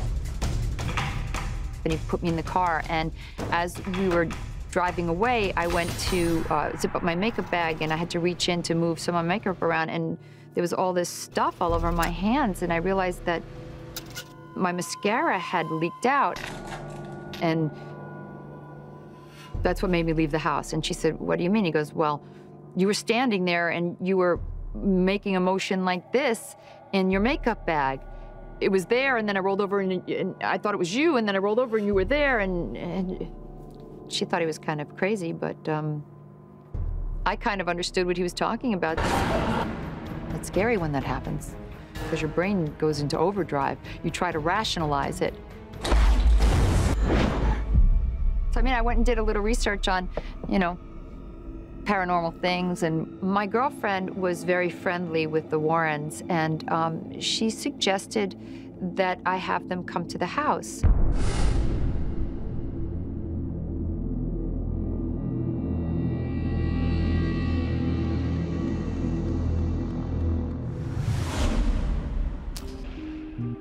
Mrs. Warren, she told us some things about the house that there was no way she could have known. The, the layout of the land, how the house had been, the nearby cemeteries. It was pretty intense. It was, pre it was pretty amazing. She was saying that, yes, there was something. But it's friendly. It wants somebody It had been one of the previous owners of the house.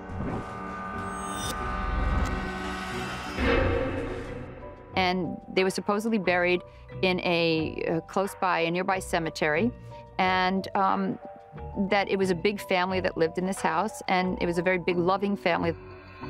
This house had its own guardian angel. My opinion is that if a spirit comes to you in a menacing way, then it doesn't want you there. If it comes in a form that is benevolent and familiar, in, in a form that you love, then I can't imagine that it's telling you it doesn't want you there. Maybe it's trying to communicate with you in some way. Whatever I had seen had come in a familiar form. It came in a friendly way. It came as something I loved. It came in the form of my boyfriend. It came in the form of my cat. So these are benevolent. It was welcoming and making me feel good about being there. And in fact, I, I took very good care of that house. Absolutely, it was meant to be that I was there. I wanted to be there, and it wanted me there. Before I tell the story, I want to tell you, I want to preface it by saying I was the worst skeptic, a real skeptic. I didn't believe anything. I thought everything that did happen was like a coincidence. But this story, it goes beyond a coincidence.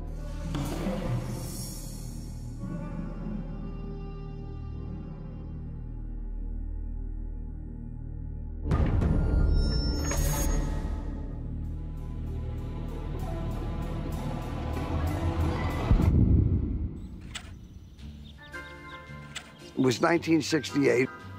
At that time, I hadn't worked for a few months, quite a few months, and I was getting a little desperate. I was a little worried about my career and everything.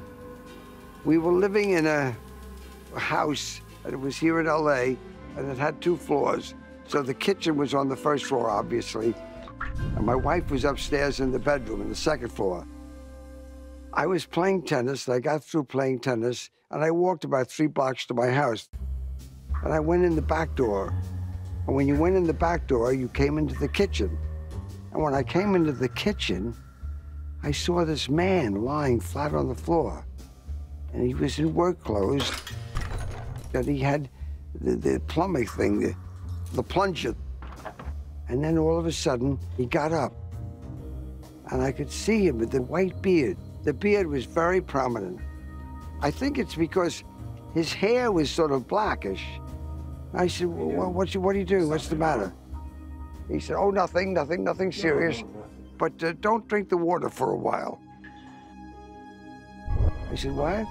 Don't drink the water. I said, why? Is there something wrong with the water? He said, no, don't, no, no, no, just stay away for, for a while.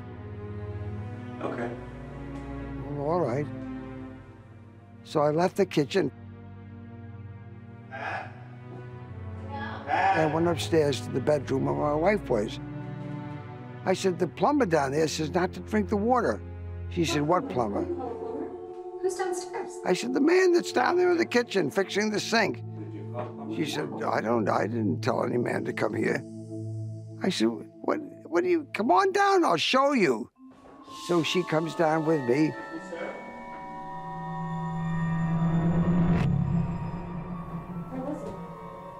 And there's nobody in the kitchen.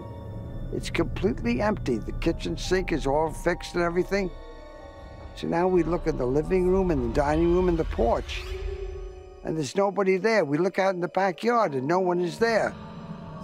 I said, Pat, I swear to you there was a man here fixing the kitchen sink. And she said, Really? I said, Yes. He was laying right there. I said, Well, he says not to drink the water. You, you, what do you mean? What are you talking about? Repeatedly, he said. I said, I'm telling you what he said very definitely. Don't drink the water.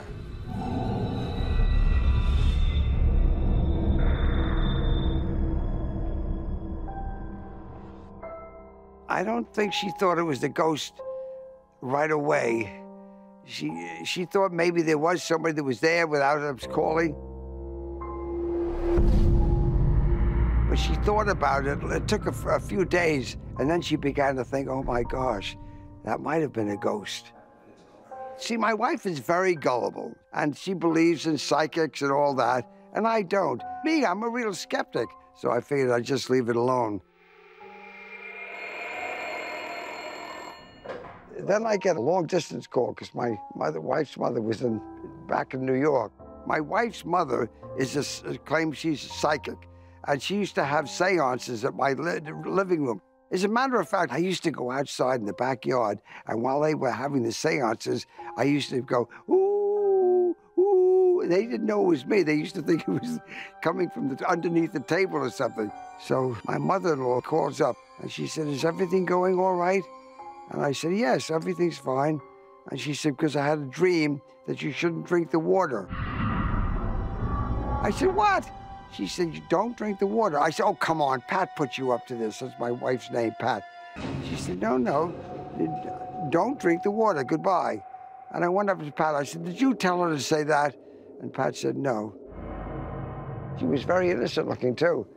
So I, it was very strange that both people told me not to drink the water. The next day, I get a phone call from my agent. And I said, Hi, bud. You got a job? He said, Yep. You're going to leave in two weeks. You got a big show. It's a big hit on Broadway. It was written by Woody Allen. I said, Gee, that's great. What show did Woody Allen write? He said, The show is called Don't Drink the Water. What? I couldn't believe my ears. That's great. Woody Allen was very famous at the time, and I wasn't used to not working, so I was very happy to get the job.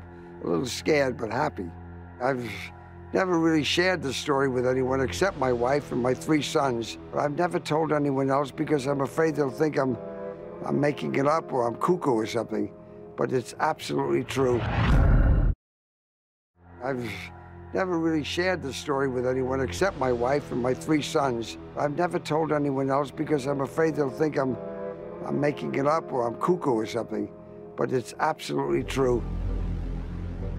Two weeks later, I left to do this play. It was in Florida, the Coconut Grove Theater in Florida. Uh, when I tell you this, you're gonna say, this is so scary. When I tell it, I get scared. We rehearsed in the play for a couple of weeks. I was very happy. I had a good part. The cast was very nice. We all became very friendly. On opening night, the show went very well.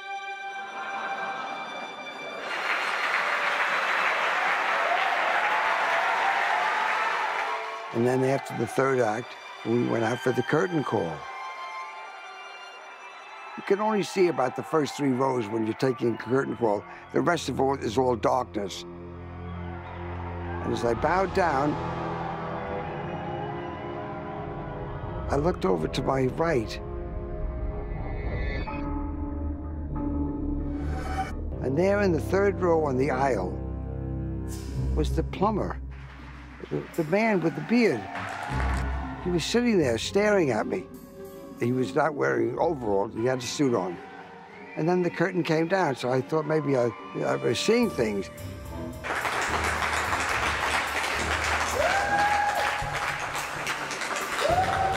But then when the curtain went up again,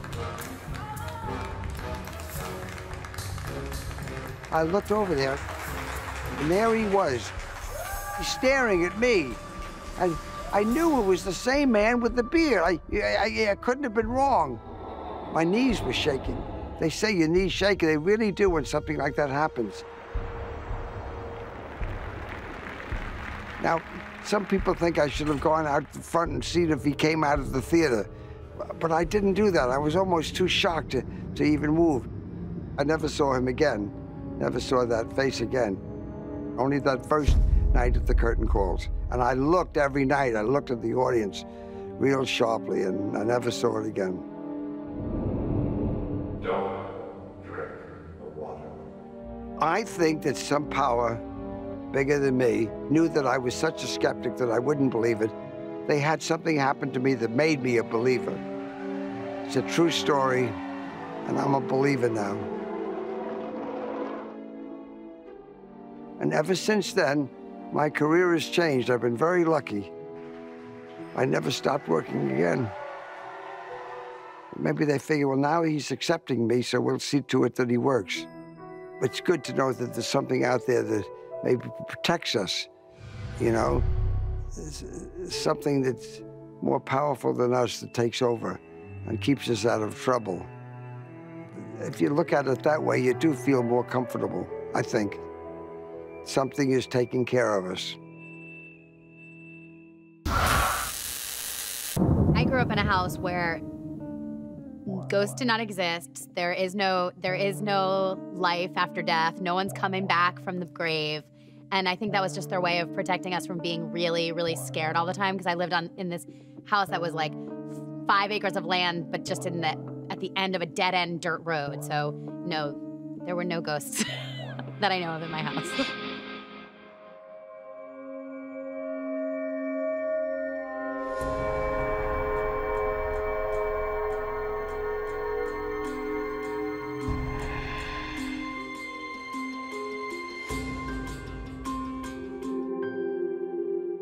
So it was about 10 years ago. Um, I was an unemployed actress and I was crashing at my friend's house, and they lived on this big piece of property.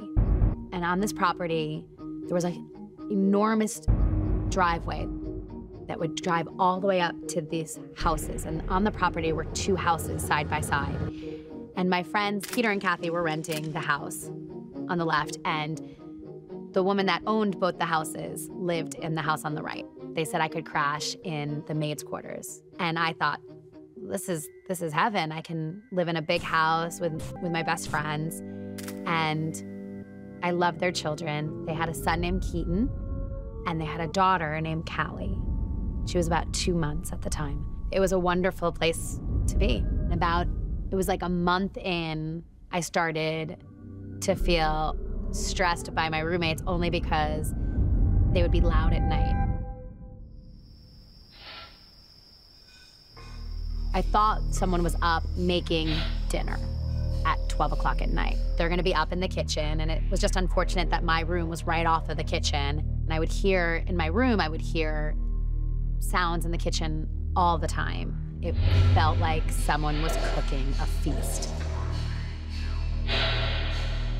They had children, so I always kind of blamed it on the kids. Then understood that, well, you're living with people and, you know, you feel like you don't want to say anything.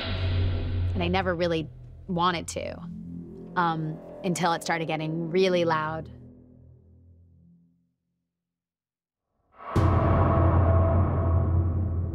There were some nights where I would hear um, whistling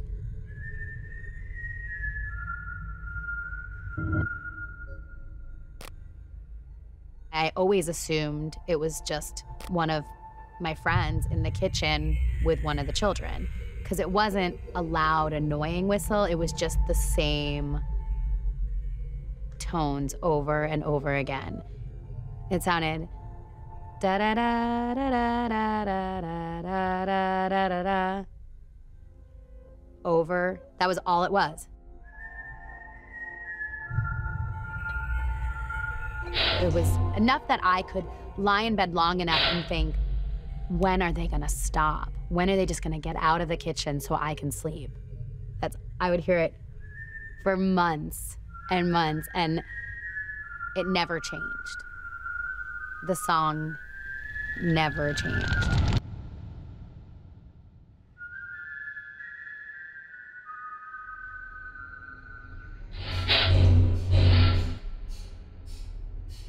Finally, one night, the minute I heard the whistling, I jumped out of my bed. I went down the long hallway and I was ready to say, Stop it, just stop the whistling. And I went into the kitchen and it was empty.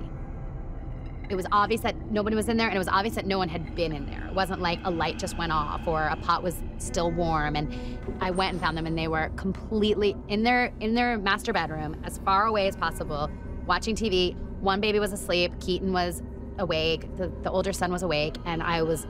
At that moment, I felt like, okay, you guys. who was in the kitchen? Like, this is crazy. I had been hearing somebody for months they thought I'd lost my mind. They were all like, we weren't in there, and they obviously hadn't moved from the bed. So I tried to pull myself together, and I just remember the long walk back to my room in terror. Just, I have to go through that kitchen. What is going on? What what am I hearing? But that's that was really the first night I think I knew in my gut that there is something else making these sounds. So I tried to pull myself together, and I just remember the long walk back to my room in terror. Just I have to go through that kitchen. What is going on? What what am I hearing? But that's that was really the first night I think I knew in my gut that there is something else making these sounds. That night, I was lying in my bed and it was so quiet and I was lying there and I heard a soft but clear whisper of my name Marissa, Marissa. And my first instinct was that it's someone in the kitchen who needs me. And I got up and thought, well, I'm gonna go to the kitchen but I was going to go and scare them because of all the things I'd been telling them. I'm going to scare them.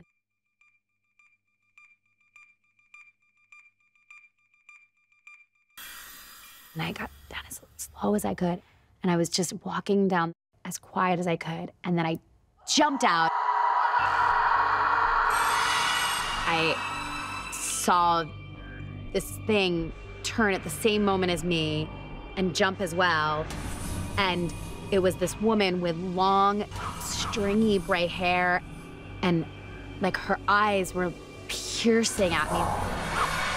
And her face was like sunken in. She was she looked like she was sick and she was really pale and she was in this like shadowy gray. Like I don't really I couldn't say what exactly. It seemed like just she was just this presence and her hair was it's her hair that I remember the most. And I was so terrified at that moment because I knew that that moment I had seen something that I never believed it. I turned around as fast as I possibly could and I just ran into my room and hid under my blankets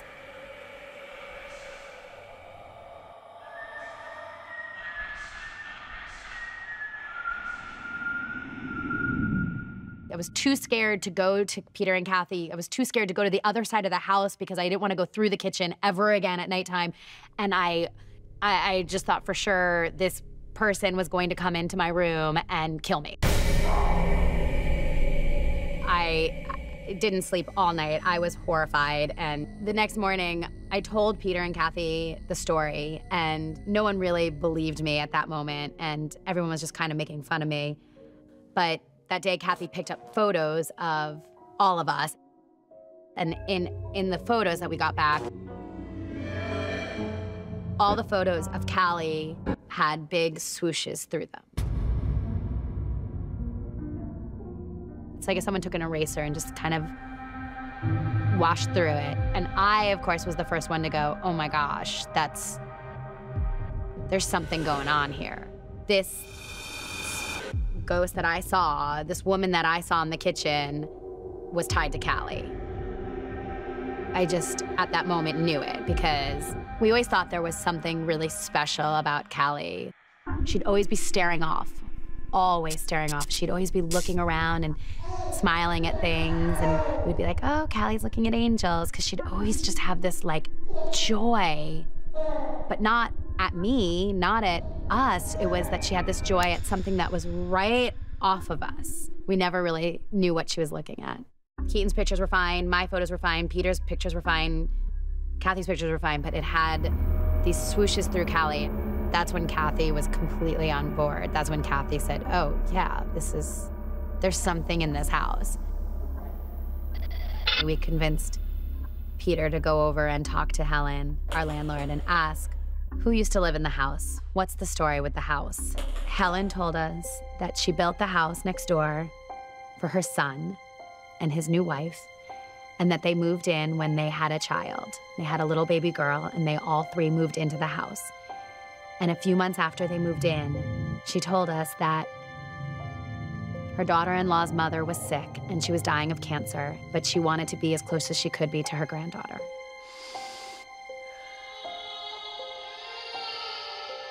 So she lived there, I think it was about six months, she said, before she died in that house.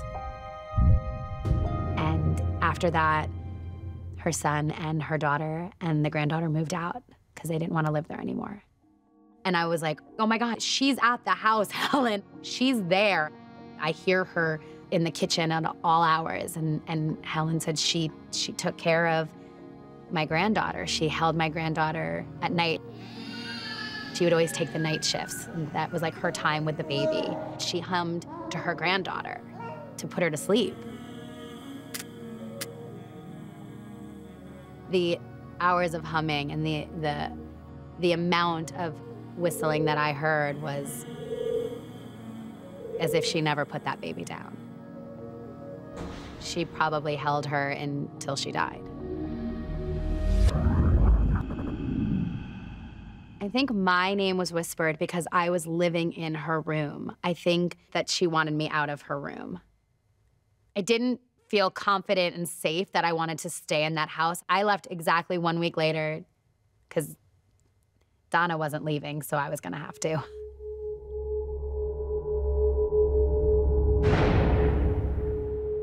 It's like I now don't think people are crazy when they tell ghost stories. I have that same feel when I hear stories of other people, it's because of Donna, it's because of her. I 100% believe in something beyond us because she made herself known to me.